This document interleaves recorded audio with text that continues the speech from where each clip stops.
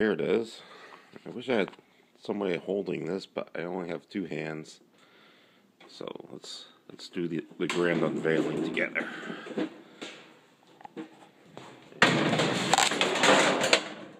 Oh, that's one way of getting it to go off. Have it slide off the edge of the table. Okay, so there it is. And there's the power supply. Wow. That's a big uns. That's a big one. Yeah, nice little bank of transistors right there. I'm sure they're all MOSFETs. Though it does look like uh, it's pretty easy to take things apart if you had to. This, this looks like it'll just lift off. So, from this angle, Nope, not seeing anything.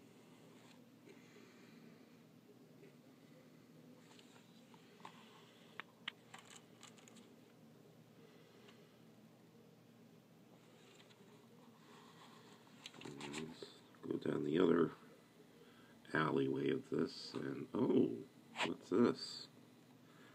Oh, what do we got here? Get another angle on this guy. Yeah. That is a bulging capacitor, if ever I've seen one. And typically, when you have one, there's usually another. That's not a guarantee, of course, but that's usually the case. Now, this one next to it feels okay. No. And so does this. It looks alright.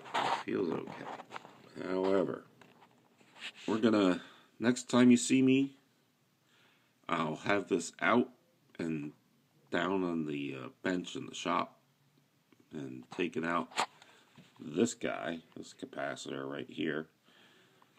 He said with an extremely large finger.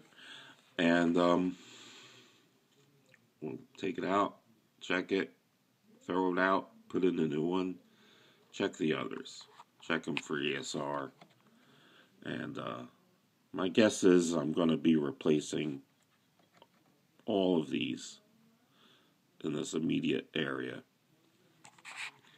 I'll check the traces and see where where this branches off to in terms of the other capacitors. If uh, if I if I see the same trace bouncing off from this to this and this, then they go. Out they go. Okay, so here is the Samsung slash Philips power supply for that big uh, silver Philips I just showed you. And um, so here are the capacitors in question. And they are this one the board number on it is C8059. Now there's another one tied through this uh, coil, goes through it to here as well. And um, this is C8060. And again, 3300 microfarads, 10 volts. Um, a couple of the forums I read say all you need to do is replace both of these and you're golden.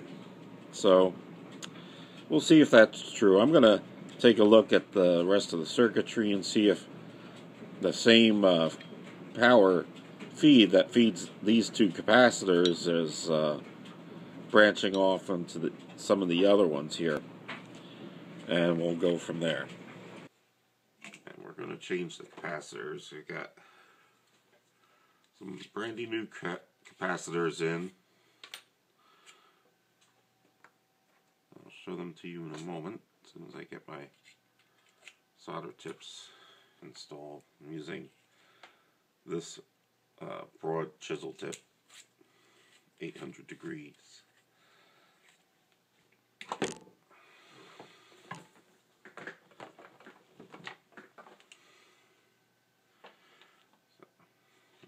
Heat up.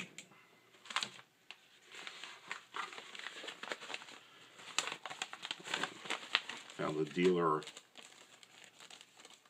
that has the Sanyo capacitors for this. Um, 3300 at 16 volts.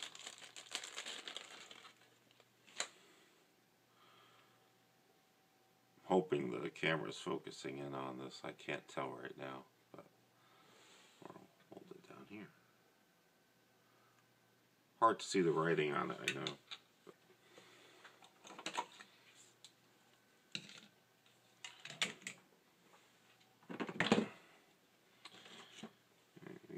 Of my Amtech flux on there.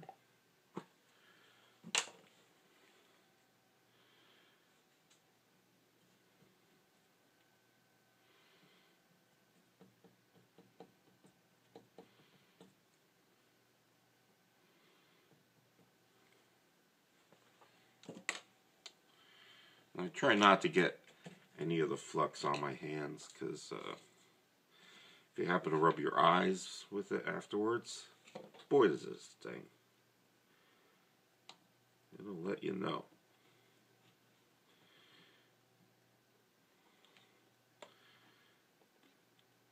Okay, so this seems to be going well.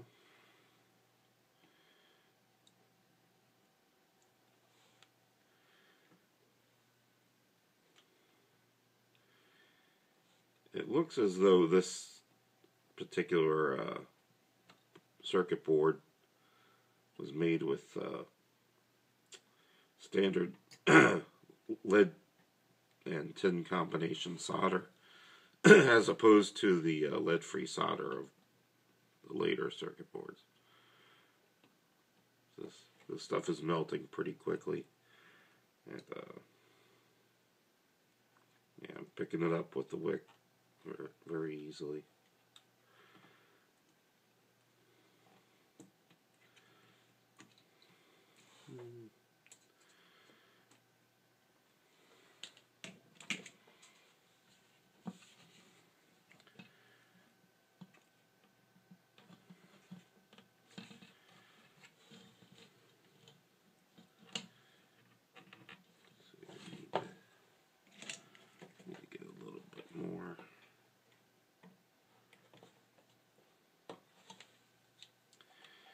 Get a little bit more solder out. Oh, that one just dropped. I heard it make a clunking sound. There's that one. I'll put it there. Alright. So, so want to check them. Curious, always curious before I replace what I know is bad. I want to see what the value is. So this one isn't so bad. It wasn't bulging, but I'm pretty sure it's not any good. It was right in line with the other capacitor.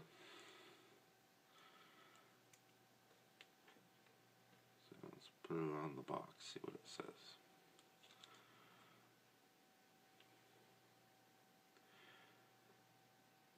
Okay, so it's reading 3732 microfarads. V loss 2.2%, ESR 0.09. Okay, let's see how that compares with one of the new ones.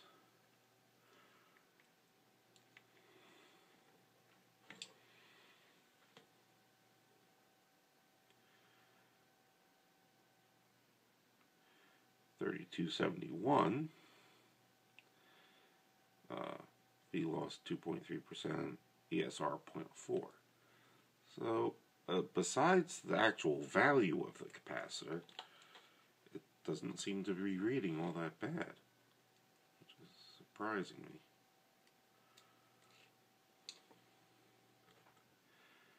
But this isn't the really bad one. I'm going to show the really bad one in a moment. 3745 seems unusually high. It's rated for 3300 microfarads, not 3700s. Um, so that's suspicious, the fact that it's reading so, so high value. And I also have a another uh, capacitor meter that I could try it on.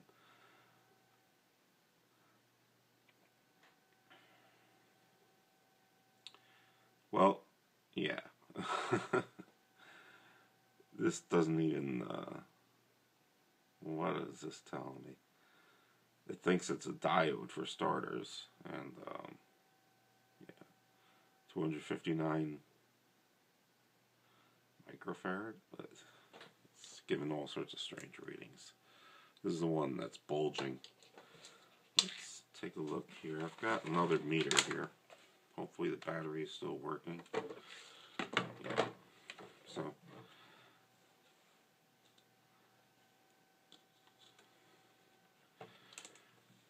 Let's see what this is EK says.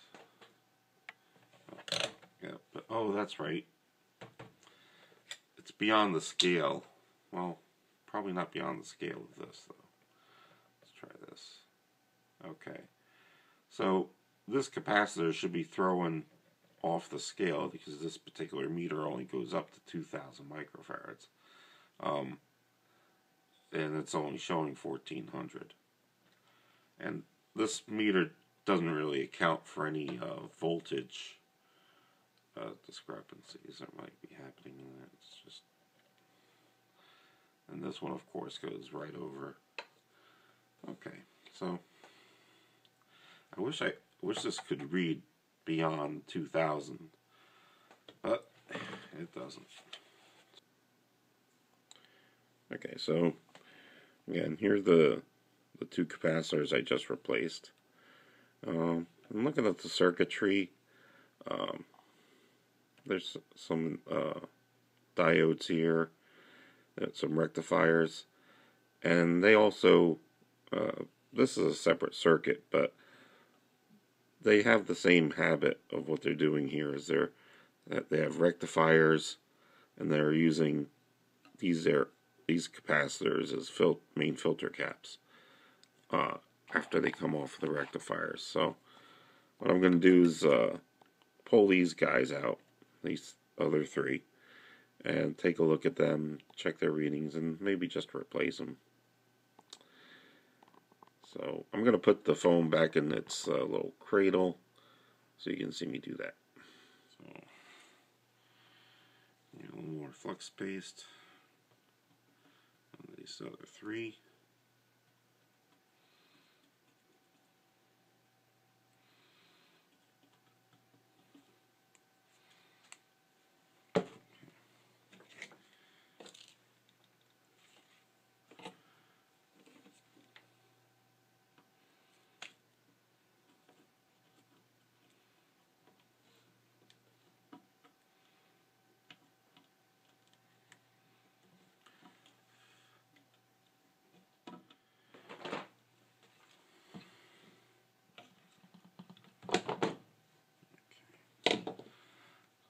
We got here? Value on this is hidden. Now it's 1000 mics at 10 volt. So in that case we can use this particular meter to check it.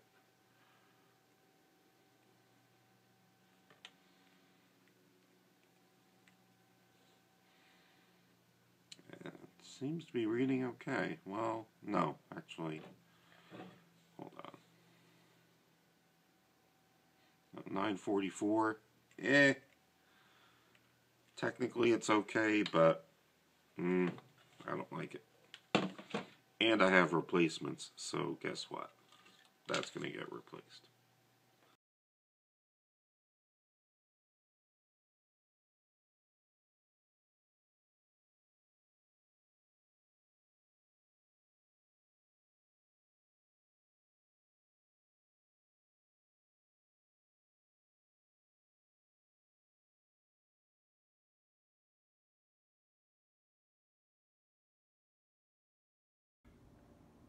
Okay, so here's the finished item. The Magnavox TV with the Samsung power supply. And um, here it is for its final test. I'm going to turn it on.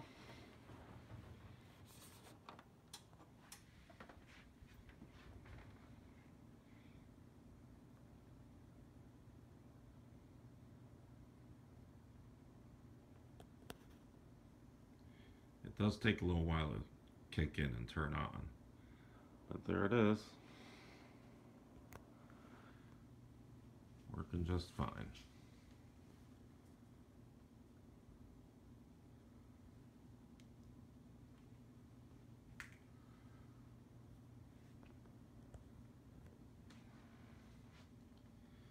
And I, uh, I have run it for a while and uh, it's holding up just fine, no problems. So that's the repair of the Magnavox slash Samsung power supply. Hope you enjoyed it, and thanks for watching.